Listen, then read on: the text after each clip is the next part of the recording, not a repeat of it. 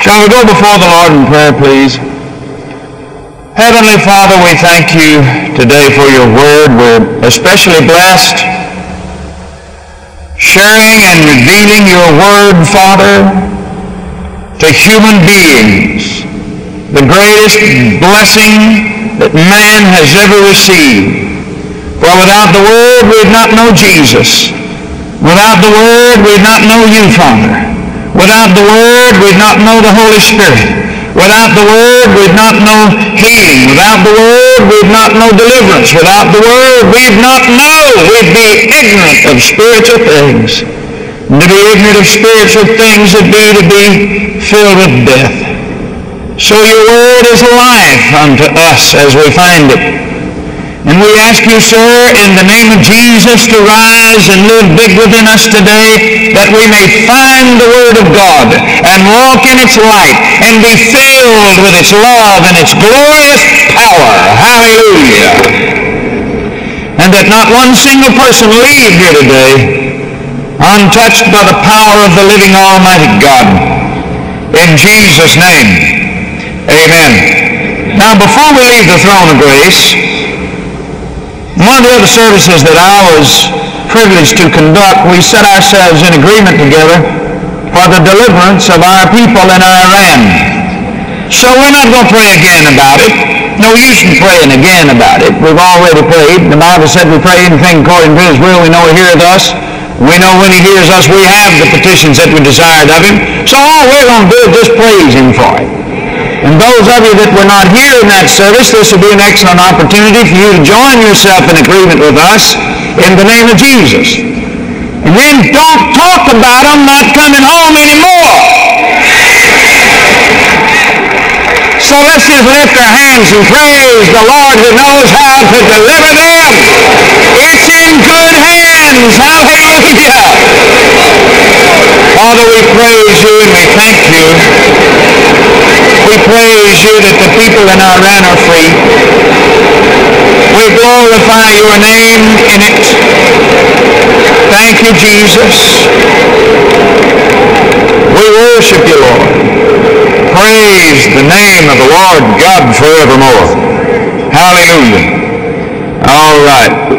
And all in one agreement, if you agree with that, say amen. Hallelujah. Let's open our Bibles again to the book of Deuteronomy chapter 30.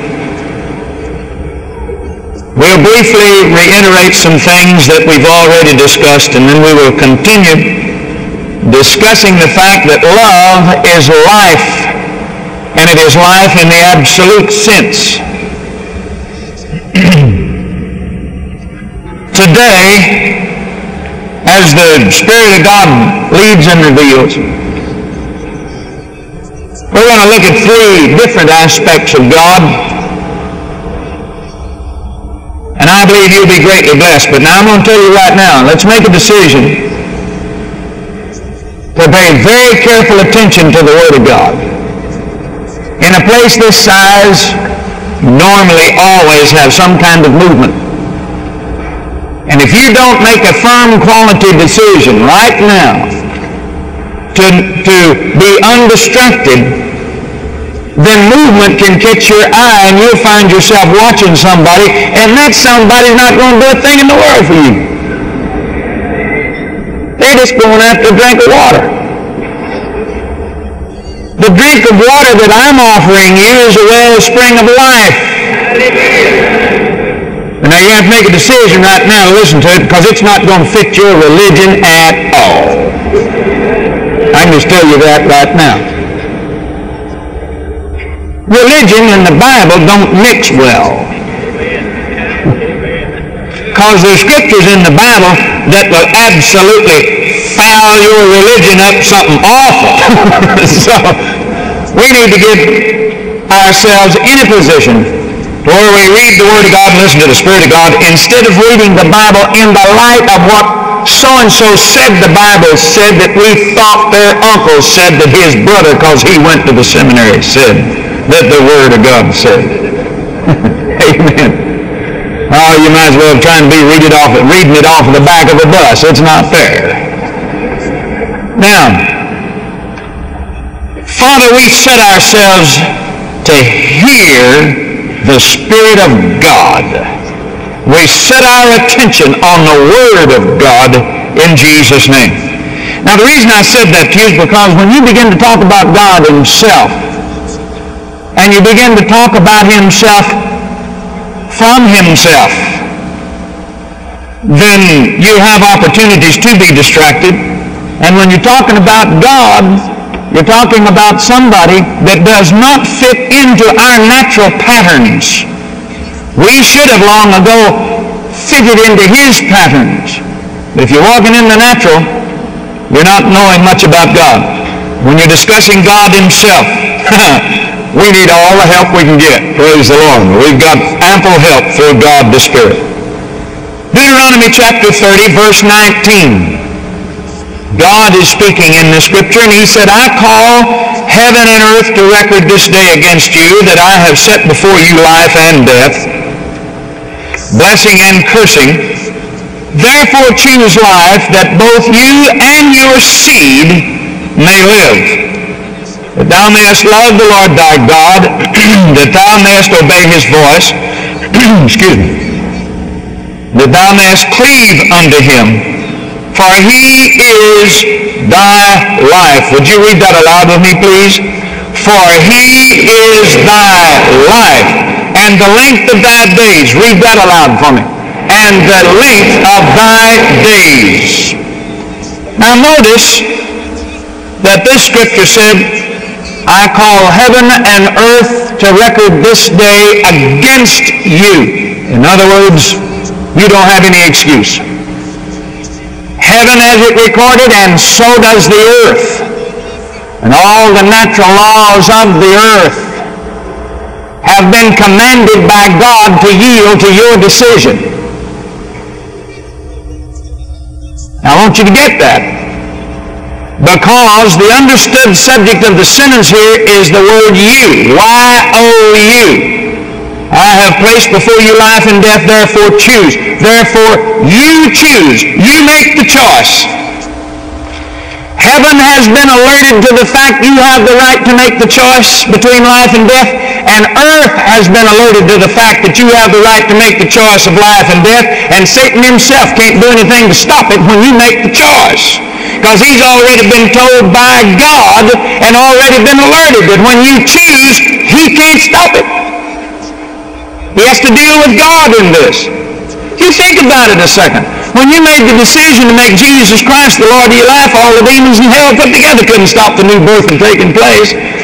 All that turkey is come along and tell you you didn't get anything.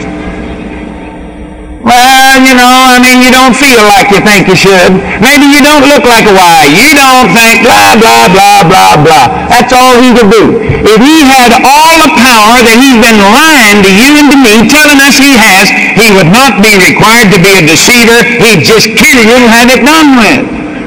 You can't do that. Heaven has already been alerted that you and I have the right of choice. We're in God's class. We weren't created in angelic class. We were created in God's class. We have a right to make a choice. Satan didn't have any right to make a choice, and it damned him forever when he took upon himself the positionship of a God. He doesn't have that right. You do. Jesus paid for that right with his blood. Hallelujah. All right, now let's go to 1 John. Not the Gospel of John, Little John. Little John chapter 1.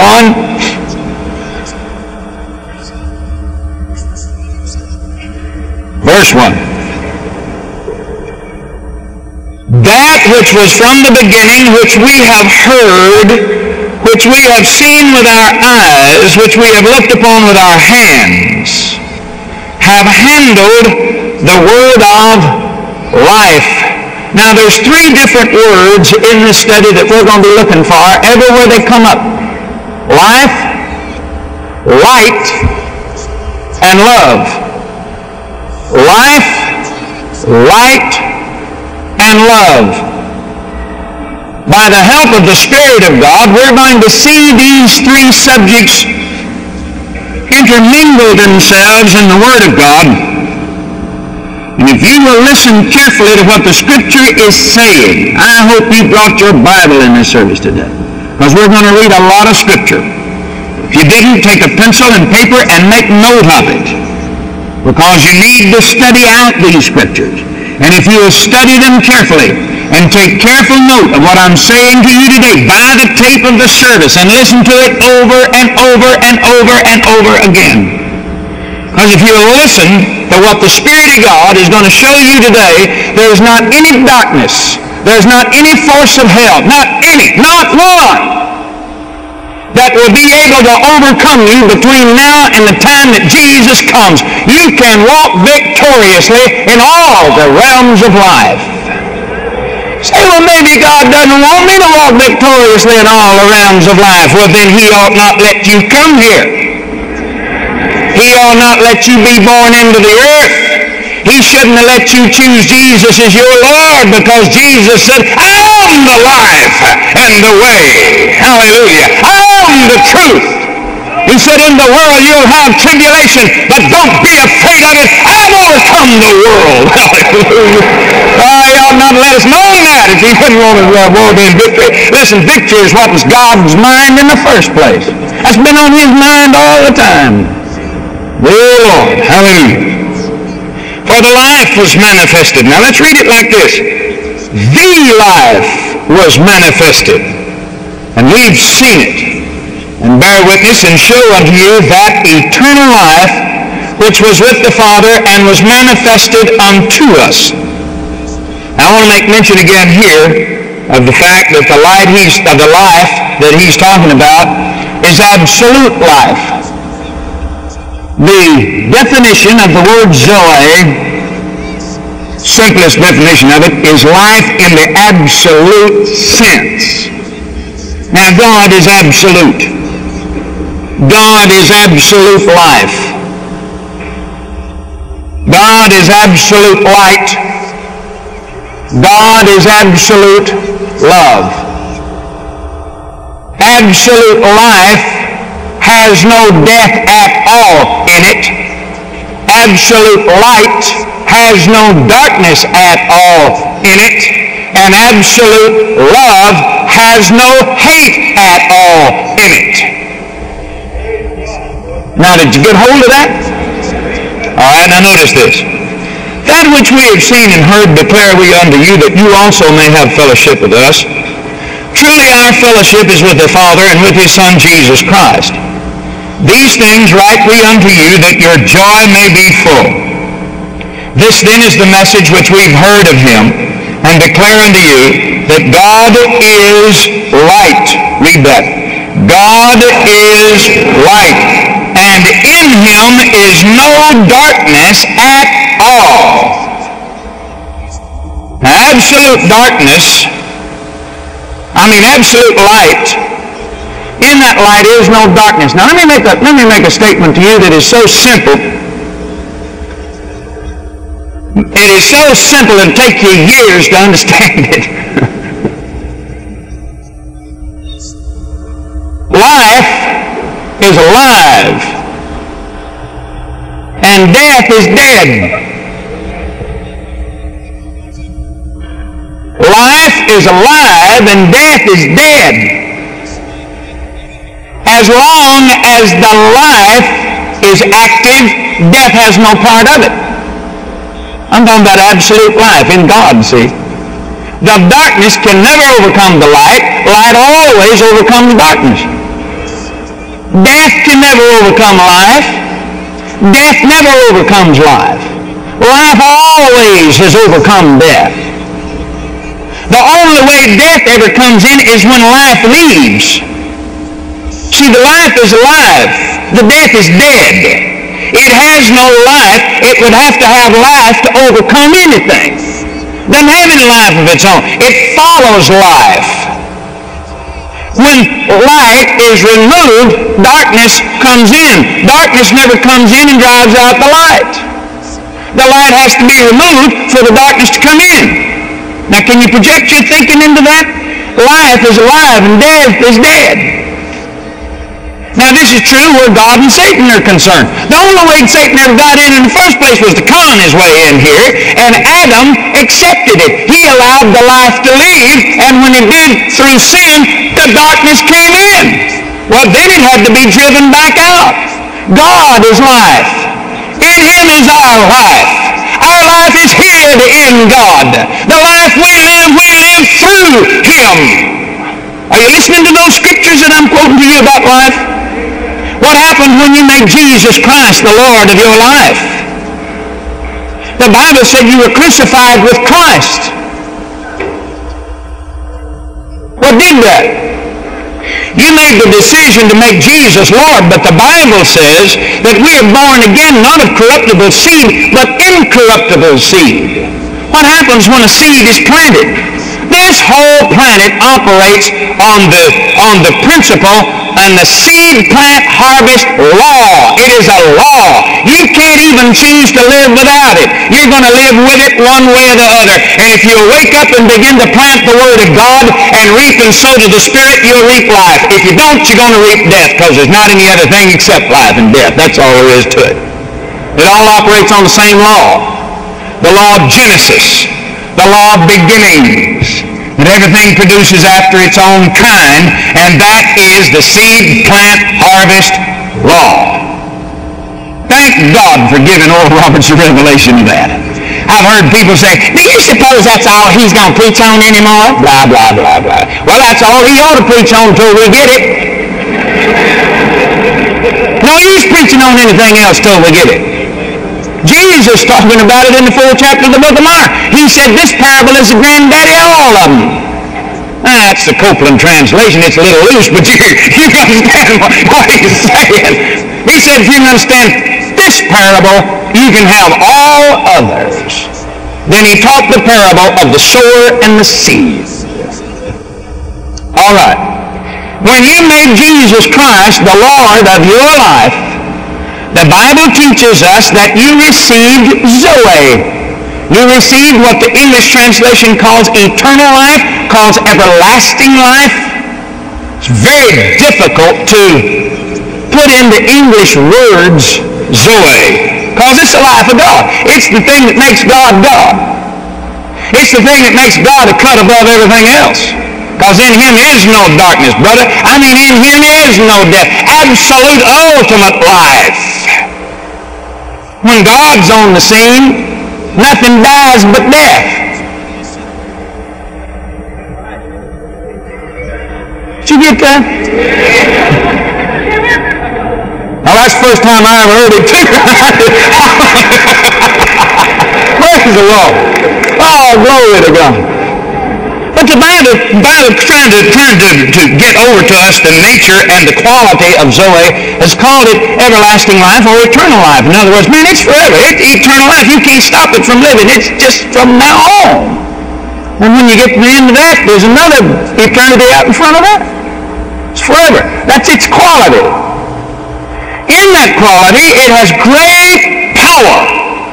Great power to overcome and when the Spirit of God, when you planted the seed of God's Word, that Word has Zoe in it.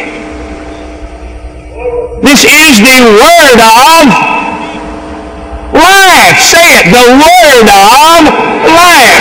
You planted that Word in your spirit. Now you didn't plant it in your mind. It came through the angle of your mind, came through the avenue of your mind. But it didn't cause your mind to be reborn. It didn't cause your body to be reborn. It caused your spirit being to be reborn. Proverbs chapter 4 says to protect your spirit, for out of it flow the forces of life. That's where the life force comes from, is in the spirit realm. All life has come from the spirit realm. God is a spirit, and He has the, the and is the creator of all life all life. No life exists except God is at the center of it. He started all things that are alive. Now, when you made that action, what did you do? You believed in your heart that God had raised Jesus to life. You were taking the word of life extract from it the life that you needed. Then with your mouth you said something. Now this, now you might as well just make a note of this right now. The seed plant harvest principle about which this planet and this universe functions also functions and primarily operates through the mouth on the God level. Angels don't have the right to choose their own words. They speak, thus saith the Lord. Human beings have the right to choose their own words. And when you choose God's words, you choose life. For they are life to those that find, or those that choose them. And health to all their flesh. Proverbs 4, 20, 21, 22, 23 all those scriptures there discussing this very same subject. When you did that, you believed it in your heart. In other words, you allowed the seed to get in your heart. You dropped the screen of resistance and allowed that word to transcend from your intellect down into your spirit being. And when that seed got down in there, it germinated through your belief, through your acceptance of it, and said, yes, make that decision. But then with your mouth, confession was made unto salvation, unto deliverance unto the releasing of that life. You said it with your mouth. You put words to your decision and you said, thank you, God, I'm saved and life sprang out of the words of God that was in your spirit and drove out spiritual death. And you became a new creature in Christ Jesus. Now, you want me tell you what the problem from that point on is? Your mind is not renewed to the Word. Now you got your spirit going one way and your mind trying to go another. And your body trying, trying, probably trying to go a third way. You're trying to determine what all the feelings are. Trying to determine, oh, what is this I feel? What is this I see? This doesn't look like God. How would you know? Did you ever stop and think about the services we get into and say, oh, do we feel God now? Let's find out if God's here. Do we feel Him? Oh, I don't feel God. Oh, I feel God. How can he be over there and not over here? Will that not work? Why do we have to take God's word for it? God is a spirit. God is light. God is love. God is life. Now, I said something to you a couple of days ago. I want to reiterate it right here so you can see through a little something here this universe that you and I are part of has in it the intellectual realm and it has in it the physical realm, but it is controlled by the spiritual realm. Now, this universe that we're operating in in the natural realm is limited by the speed of light. God said, light be. He could have said, dirt be, trees be, bodies being. he didn't. He started at the most perfect element. The element of all energy in the natural realm, science has finally figured out, is light. Einstein stumbled on to one of the laws of God in light. You can tell from that exactly how God wrote the Ten Commandments in those, in those tablets of stone. The Bible said he did it with his finger. Well, Habakkuk 3, 5 tells us how he did it with his finger. It said his light filled the place full of his brightness, and out of his hands, out of his hands, one translation said came lightnings. Another translation said come shafts of light. Well, what is amplified light? Light amplified SSE R radiated. How's that spell? laser. A laser beam is amplified light.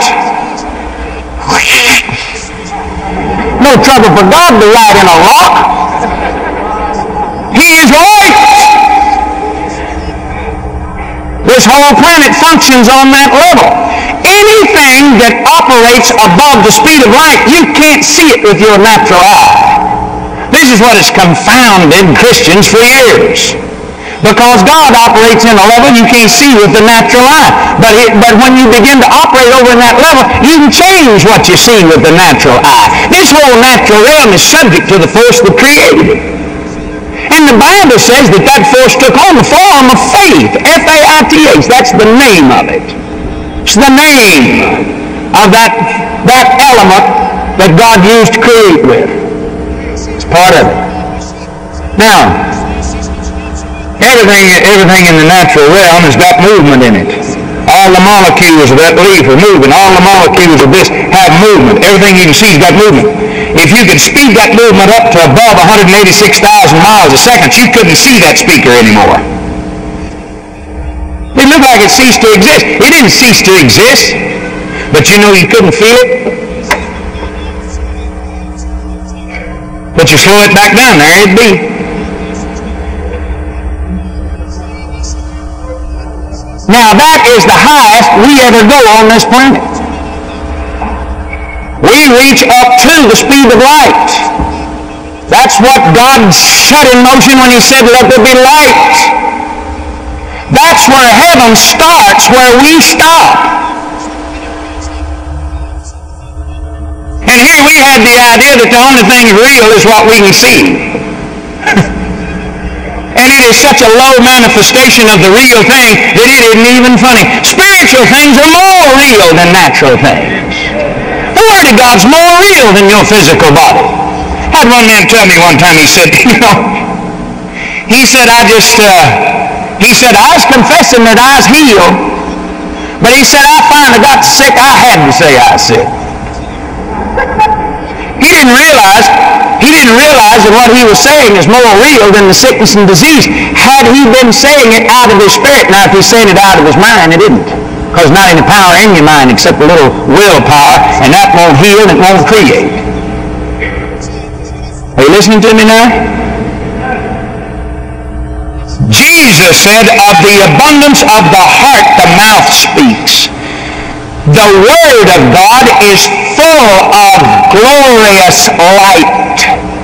The glorious light of this gospel hath shined unto them.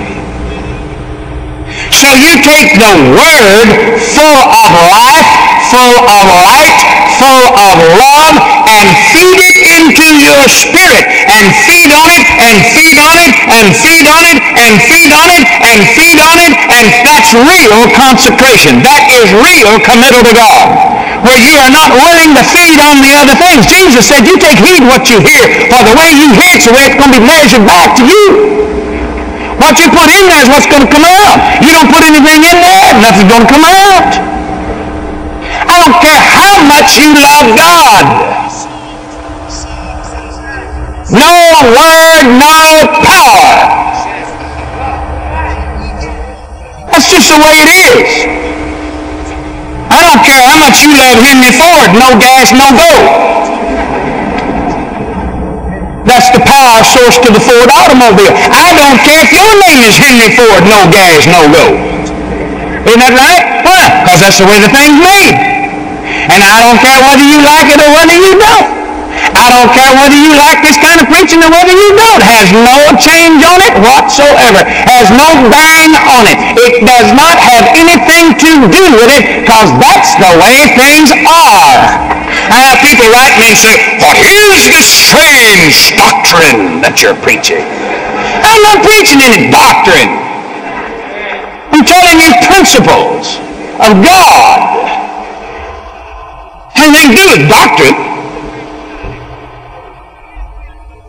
All right. Let's go on here for a moment. verse 5, This then is the message which we've heard of him and declare unto you, that God is light, and in him is no darkness at all. If we say that we have fellowship with him and walk in darkness, we lie and do not the truth. But if we walk in the light as he is in the light, we have fellowship one with another, and the blood of Jesus Christ, his Son, cleanseth us from all sin. When does the blood cleanse you? When you walk in the light.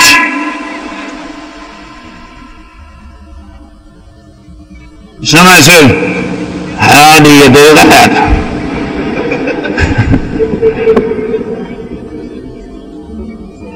Can you think of a scripture that would give you a clue? The entrance of his word bringeth light.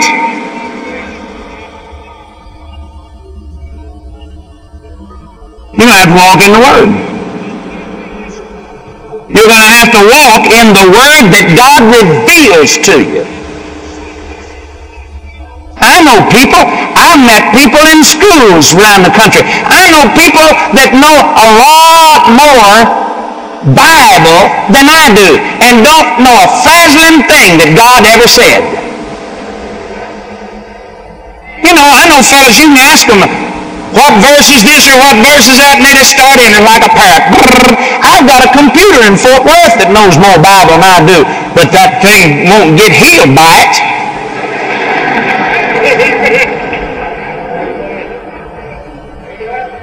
Are you listening to what I'm telling you? Just know the words are not going to do it. You have to walk in the light of the words. Now let me show you what I'm talking about here. It's very simple. Well, let's talk for a moment about Mark 11, 22, 23, 24, and 25. Jesus said, have the faith of God. All right, to walk in the light of that scripture, then we're going to have to walk in the light of what he's about to say. Because it's God's faith. It's not Baptist faith, not Methodist faith, it's not Pentecostal faith, it's not Assembly of God faith, it's not Catholic faith, it's God's faith. So I'm really not too interested in what the Baptist, Methodist, Pentecostal, Assembly of God, Catholic, I'm not interested in what NBC says about it. I don't care what ABC says about it. I don't care what CBS says about it. I really don't care what you say about it, and I could care less what I think about it. It's God's faith. We ought to find out what He says about it. Isn't that right? Well, that's what it means to walk in the light of Mark 11, 22. But then Jesus went ahead to say, Whosoever shall say unto the mountain, Be thou removed, and be thou cast into the sea, and shall not doubt in his heart, but believe that those things which he saith shall come to pass, he shall have whatsoever he saith. Now, how are we going to walk in the light of that? You can't walk in the light of that and go to writing Brother Hagin letters and go to writing me letters and go to writing Charles Capps letters and Oral Roberts and Jerry Savelle and everybody else you think of that ever mentioned anything about this. You can't go to writing us letters and say, well, I don't believe in that saying stuff. You don't? No. I don't believe in talking to things. You said one time in one of your meetings to talk to my body.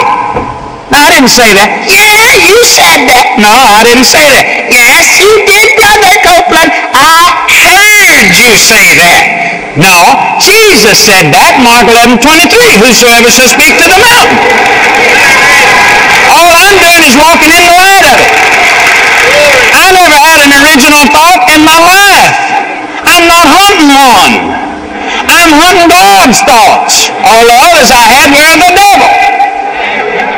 You're not smart enough to originate one. You're either getting them off alive or dead. They're either selfish or they're in love. There's only two ways to go. There's not God's way, the devil's way, and your way. Who do you think you are?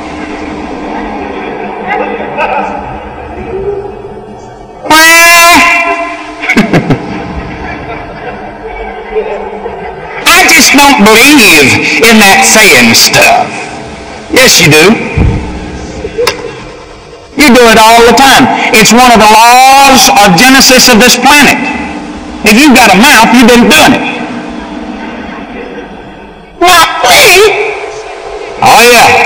I heard you say I ought to talk nice to my car. I don't talk to my car. I'm educated. No, you're not. Oh, yes. I'm educated. No, you're not. Somebody comes along and said, that man's education is keeping him away from God. No, it's his lack of it. If he doesn't know God, he's not an educated man.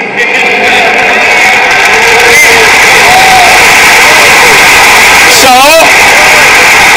now you look at this. Here is a law that says, Whosoever shall say unto the mountain, Be thou removed, and cast into the sea, and shall not doubt in his heart, but believe those things which he says, those are words, and he shall have whatsoever he saith.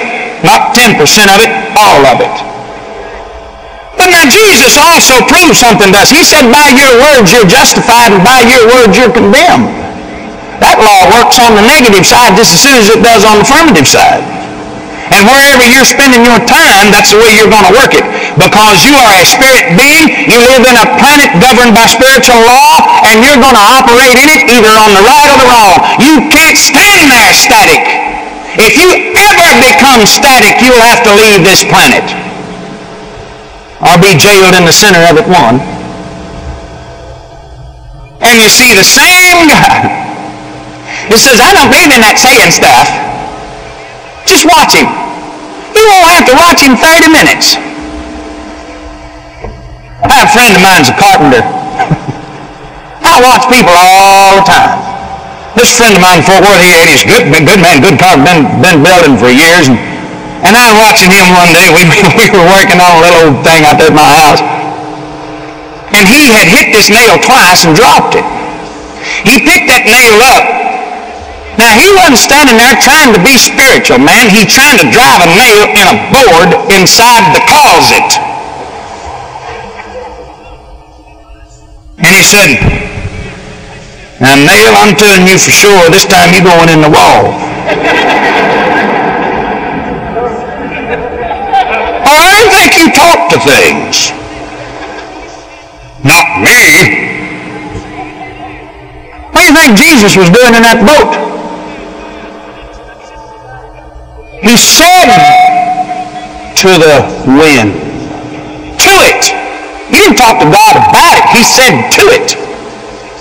See, there's no use in you talking to God about anything if you're not going to walk in the light of what He's already said. If you go to God and say, what about the mountain? He's going to say, what about the talking?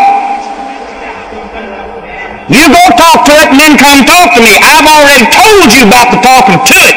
Now don't talk to me till you talk to it. And so I waited for over an hour, and I said, Joe, how come you talked that nail a while ago? Now, this is a man of faith.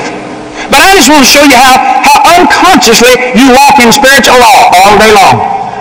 I said, how come you talk that nail? He said, what are you talking about? I said, you talked to a nail there about an hour ago. He said, no, no, what?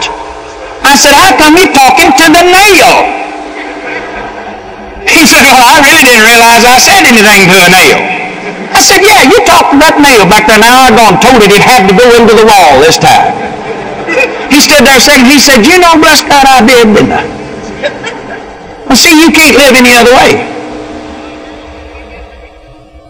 Solomon said you're snared by the words of your mouth, and Jesus said you're justified by the words of your mouth. Spiritual law. I want you to see that it's governed by law. If Jesus said you'll have what you say, if you believe in your heart and not doubt, but and speak and believe that those things which you say come to pass, you're going to have what you say. Well, why does it work so proficiently over in the negative realm? Because you've spent all your time listening to this negative, lousy, sinful world, and you've governed everything on its level. We're not demanded to govern everything on this level. We can reach out beyond that light border and reach unto light himself and control what's in this realm through the word and the power of God by the authority of the name of Jesus, which has authority in all three worlds. And every tongue shall confess and every knee bow. And he is Lord of things in heaven, things in earth, and things under the earth. Bless the Lord God forever. Satan's limited to this realm, and we're unlimited. Glory to God. We're not even citizens of this realm. We've been reborn. Hallelujah. Glory to God. But if you're going to walk in that other world, you're going to have to walk by the laws of the other world. And where Christian people get messed up and fouled up and everything else trying to walk in both. You see businessmen trying to be spiritual three days a week and natural four. And it's going to foul you up. You're trying to use God's principles and you're trying to use the world's principles, and I'll tell you what, you're not going to get much out of God, and the world's going to beat you at their own game. And you're always standing out there saying, oh, let this happen to me. What did God do? Nothing. That's what's the matter. You didn't do anything that you should have done. And walk in the light of these things. It's all governed by law. The problem's been not knowing the laws. This same person tells you they don't believe in this saying stuff, will walk up to the washing machine and kick it. You sorry piece of trash. Ow! With Sears and Roebuck had you back. But just let Sears and Roebuck come out there to repossess it and you'll hide it. Now what do you want? You want them to have it back or you... You're two-faced about everything you do.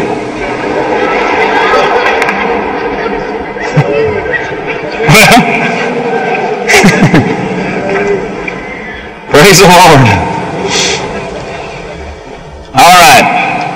Notice how sin is defeated. Eighth verse. If we say we have no sin, we deceive ourselves and the truth is not in us. If we confess our sins, He's faithful and just to forgive us our sin and cleanse us from all unrighteousness. When? When you confess them. That's when you put the thing into motion. You took the word that is the picture of that sin and spewed it out your mouth when you confessed it. That's not when God found out about it. He knew it all the time. Doesn't do you any good to tell him about it as far as informing God. Did you notice God asked Adam when he moved in on him in the Garden of Eden, he asked him what he was doing, what he had been doing. God put some questions before him. God was trying to get the man to confess it right then, and the fellow had sense enough to do it. He tried to throw it all off on his wife. But the first sin he confessed was fear. Confessed it right out of his mouth. Are you listening to me? All right, let's go on. Sin is death. I want to say this to you about something. Just clear up something in your thinking. It does not always take someone to kill someone else.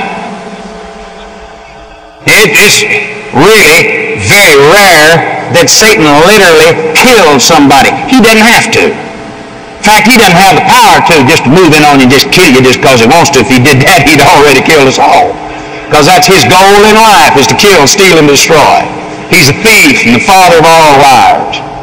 Now, there are times when he'll set out to kill somebody and, uh, and prearrange things as well as he can to get that person to walk in it and walk themselves into a death trap. I've seen it happen. You've seen it happen. I've seen it more over in the area of witchcraft and rebellion. You take somebody that's been involved deeply in witchcraft and they receive Jesus as Lord and begin to walk in the things of God, He'll set traps for them. He'll try to kill them faster than anybody else. But if they'll walk in the Word and the power of God, He can't do it. And I want you to listen to this. I, I want to teach you something here. You need to see this. Sin will kill you. Sin will kill you on its own. Sin is death. The wages of sin is death. When you sin, you remove life. When you sin, it causes a short. And all of the power that has been feeding your body to live is now shorted out. And your faith gets feeble, your joy is drained out. That's the reason God hates sin. It's not because He didn't want you to have a good time. It's because it'll kill you. And in Him is no death. And anything that causes death, he's against it because if he was for it, it'd get in him. And he'd have to bow down to Satan. And it ain't going to happen. You can forget that. He's not going to bow down to him, and I'm not going to bow down to him. Now, you can do what you want to do about it, but I've made up my mind, me and my household are going to live. Praise the Lord. Now, sin will kill. Look what happened during the flood. God didn't cause the flood that Noah was involved in. Sin caused it. That flood was not the will of God. Was it? No, it wasn't the will of God. Hadn't been for sin, that flood never would have happened.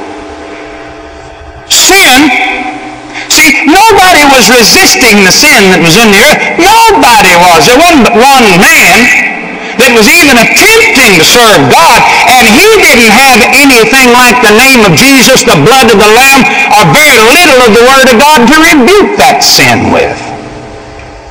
He just stayed before God and walked in what light he had, but the force and the power of sin eventually erupted. Some people have the, the, the feeble idea that that uh, rain for 40 days and 40 nights was an ex- exceptionally strong thunderstorm that God kind of sent over that way.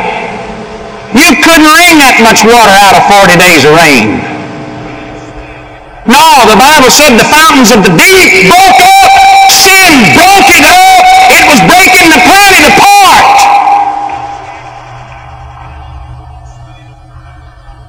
God had to step in on that thing to even save the human race. Sin was killing everybody. I've seen sin kill people.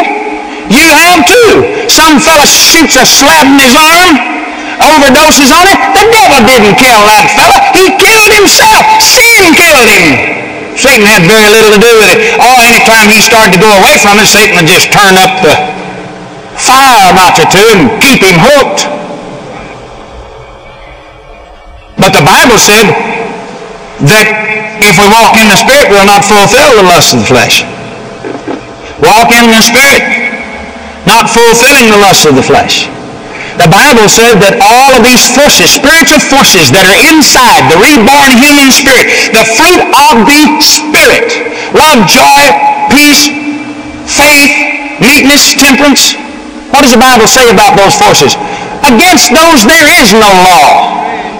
That's the highest law there is. Those are the highest forces there is. And when you bring those forces to bear, when you find out how they work, when you put them into motion, when you put that thing into operation, there's not any other operation that can stop it. It can't stand up in front of it. None of the fruit of the flesh can stand up against the fruit of the Spirit. The spiritual forces are always more powerful than natural forces. Why? Because this natural planet is limited. But when you reach out beyond that, you reach into the unlimited realm of God, His Word, His power, His blood, hallelujah, and He is in us. Where is the kingdom of heaven anyway?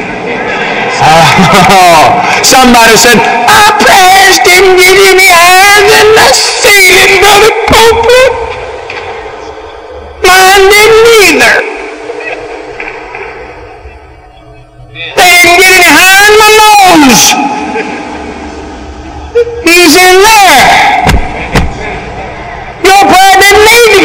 Any the ceiling.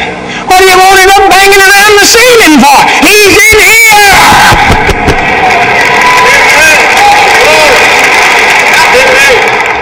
Hallelujah. The gift of God is life. 1 John 2, we're already there. Let's look at the 25th verse. This is the promise. He has promised us even. Notice the word even. Notice what a super word that is in, in the context of this scripture. Even. That means that God didn't leave out anything, brother. I mean, even eternal life, even Zoe, even this non-compromising, overcoming absolute life. The gift of God is life. Now let's get into some scriptures about this. Let's go over to Gospel of John chapter 4. Now you don't find this all over your Bible. I don't have time to give you all the scriptures on it because this is what the New Testament's written about.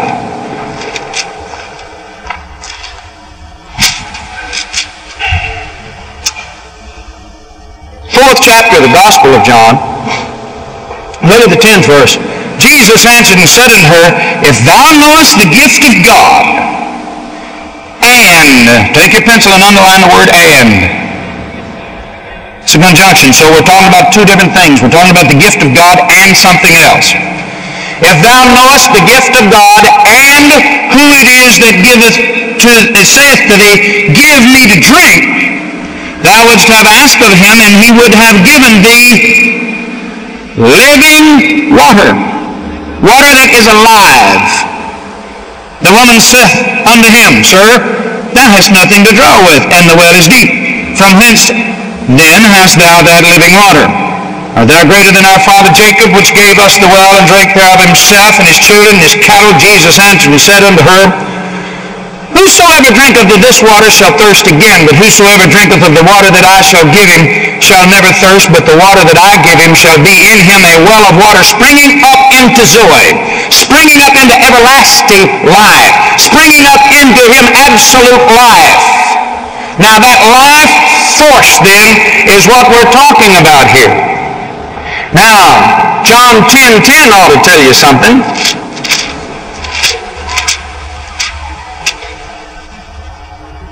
Jesus said, The thief cometh not but for to steal, to kill, to destroy. I'm come that they might have life, that they might have it more abundantly. More abundantly than what? More abundantly than anything. It's absolute life. It's more abundant than anything. It's more abundant than death. It's more powerful than death. Another scripture we found out that the gift of God is life. Well, the gift of God is Jesus. Jesus in Acts 3.15 is called the Prince of Life. He is the Prince of Life. He's the greatest thing that Zoe has ever brought into existence. Zoe brought him here. The Word became flesh and dwelt among us. But then he let life loose. He made himself obedient to death. That's the reason he didn't say anything at Calvary. If he'd said anything, it would have delivered him. So he kept his mouth shut. He did not sin by receiving sin with his mouth. He just shut it. That's what a lot of us need to learn how to do, isn't it? Keep our big blab mouth shut. Somebody comes up to him and says, How are you feeling? Well, that's none of your business anyway. I may be in the process of changing it.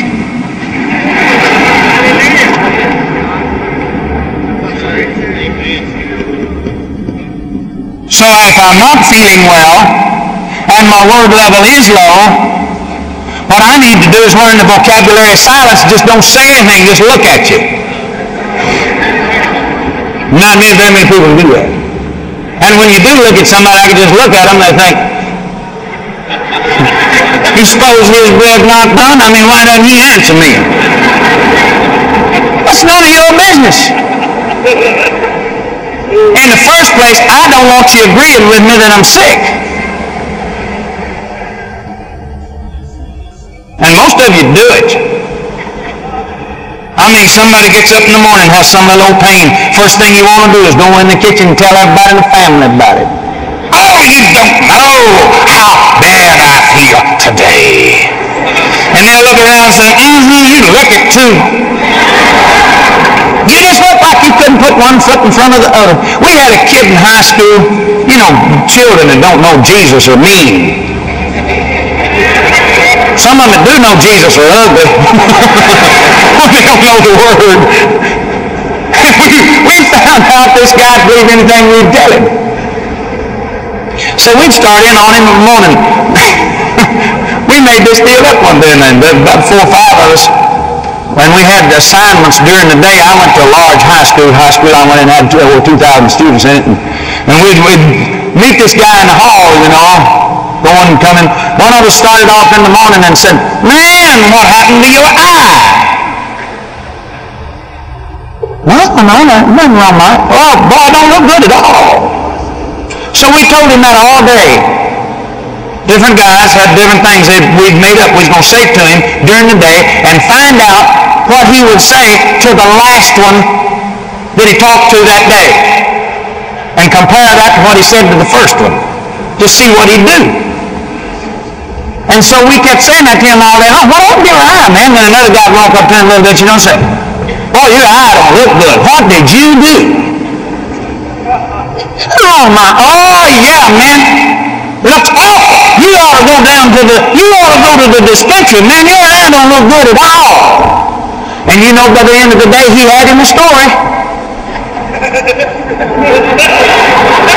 the last guy, during the, at the end of the day, he told him what happened to his eye. Now, doing this mess you ever heard in your life? Yeah. Oh.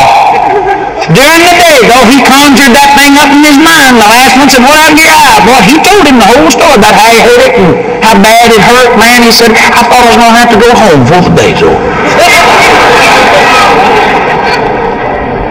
He said, took me a while to figure out what I've done to it. Boy, I'm telling you, he said this thing started on me this morning and it's just gotten worse all day long. Boy, I mean, well, that's a shame you could affect somebody like that, but you can.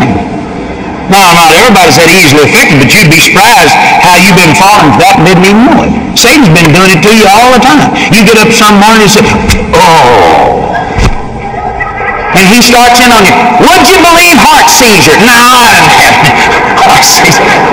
Would you believe the bubonic plague? No, ain't nothing matter. And he just starts in on you and finally gets down to one you'll take. How about heart trouble? You reckon that's what it is? It might be.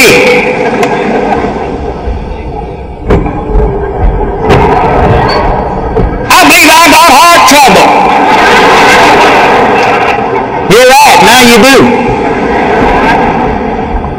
You believed it, you said it. When you came in there, your wife said, well, I guess you better go call the doctor. I believe you got, you know, I've been telling you every day of the world you're going to have to take it easy. I knew you was going to get it.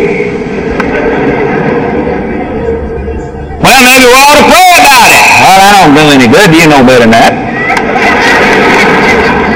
You can't go with that all the time. You better get you an appointment with a doctor. After all, he's busy. If you didn't get your healing this time, well, you know how it'd be. He'd there, you'd be without a doctor, and you'd liable to fall dead in the bathroom.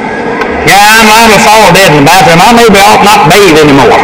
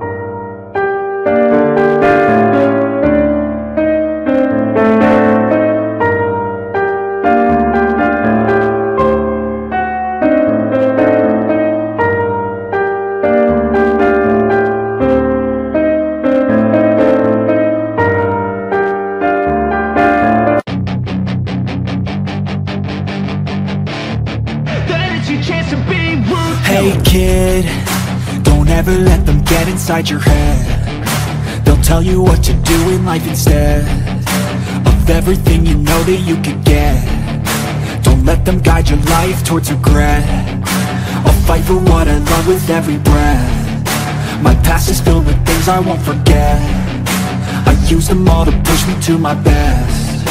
So treat the worst of times just like a test if only I could go back in time. I'd tell myself that everything will end up alright. Just push yourself, test yourself, figure out what you like And find your limits, don't be rigid, always work towards a prime. Surround yourself with open minds, people can change your life. A few friends with intent can help you feel alive. Find a passion, take some action, and with a little time Just be patient, make a statement, try to enjoy your life. They'll try to kick you while you're down they wanna rise up while you drown. They wanna fill your head with doubt. They're silently scared that you'll figure it out. I'll make it look like I'm losing. Won't bother hiding my bruises. And when they finally think you're wounded Then it's your chance to be ruthless. We'll be right back.